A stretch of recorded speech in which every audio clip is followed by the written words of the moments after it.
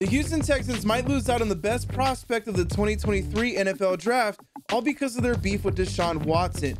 CJ Stroud is arguably one of the best QBs of his draft class.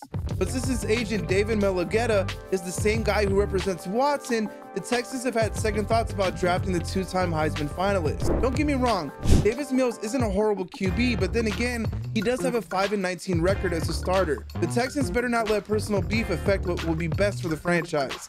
Last time this kind of thing happened, the Sacramento Kings took Marvin Bagley over Luka Doncic, all because their GM didn't like Luka's dad.